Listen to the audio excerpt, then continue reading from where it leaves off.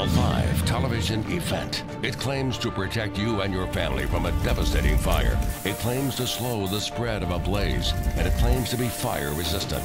Yes, you heard right. They say it's fire resistant. Tonight on Action News 5 at 10, Andy puts this paint to the ultimate test live. He sets a house on fire, wants to see if the paint tames the flames, or if the house goes up in smoke. You don't want to miss this special. Andy, will it work? Tonight on Action News 5 at 10.